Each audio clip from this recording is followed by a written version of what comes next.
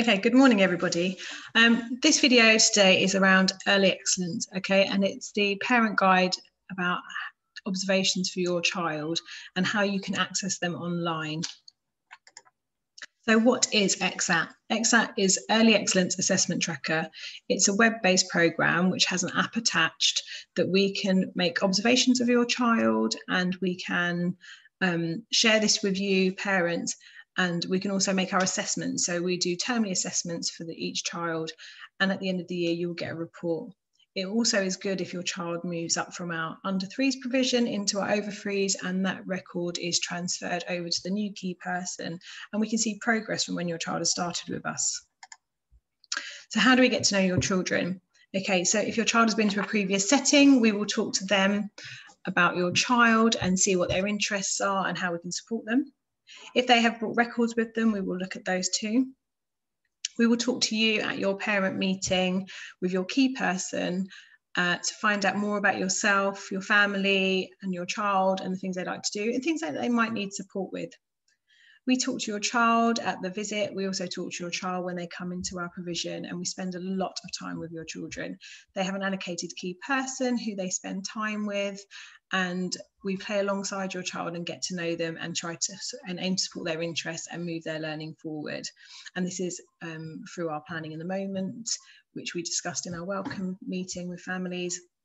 Um, in addition to plan sessions we, we do for phonics and for maths and for other strategies that we use at Rowland Hill.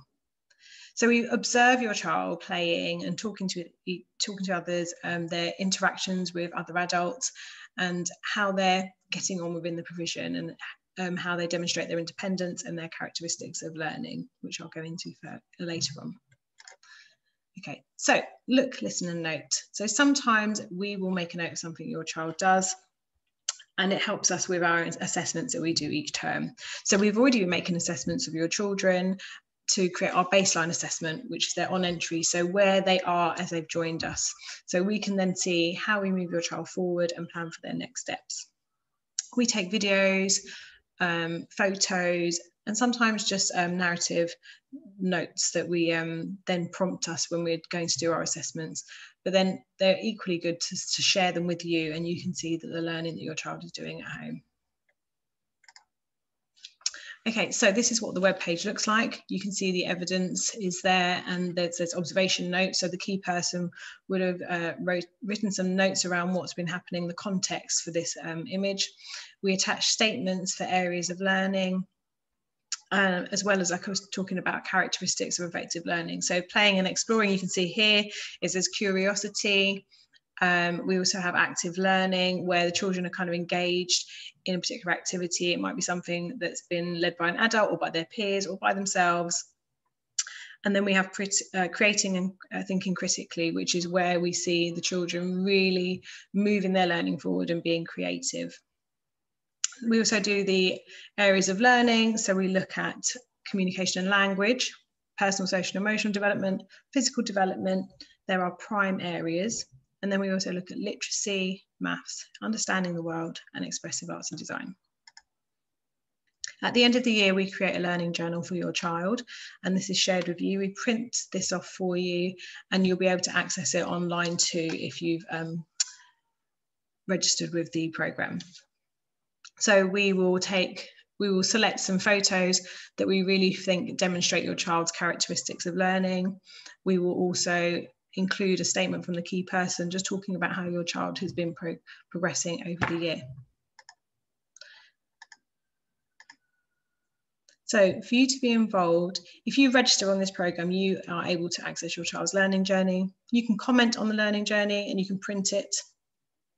You can also share your own information, which is ideal for us here. So you can take a photo, you can just write a note, and then this will be um, sent to your uh, be added to the program and your key person will get a notification and then they can look at this with your child um, to talk about and they can also use it to inform their assessments each term. So this morning we gave out these um, slips and if you come in the afternoon we'll be giving them out then. I understand there was a few parents that maybe didn't have um, their slips but that has been resolved so everyone should have one. If you have any issues um, with registering online, please come and see uh, myself or Sean or Tony at the gate and we can help you. Um, and if you lose your code, then we can um, resolve that and email you another one. So you'll go onto the web page, ideally via Chrome, so eexat.com. Then you can register as a parent. As you can see, there's a grey button there. And you will use your code as well as um, adding your own password, email address, and your details to register. When you have registered, there will be a dashboard. So if you have more than one child, it will give you each child. There's a, a help guide for parents, which we have actually emailed to you today. And then you'll be able to look at the evidence that has been uploaded by your child's key person. So this is if you have more than one child in the setting, you can view their evidence. You can also submit evidence. And this is what it would look like if you go on the website. Now you are invited to share some um, photos um, or observations of your child. So you can upload them onto a computer but a bit further on we'll look at the app which might be easier. So many people use their phones to take photos of their children um, and then you can upload them straight away which is really nice and simple via the app. So here's some more information that might be required by the website. And there's also frequently asked questions as tab on the top of the screen so it can help you answer any questions. The parent guide also has a lot of information for you so the app is available on App Store and Google Play. And if you search EExAT, it should come up and install. And this is what it might look like on your phone. So as you can see, it's quite a simple interface, um, quite easy to use.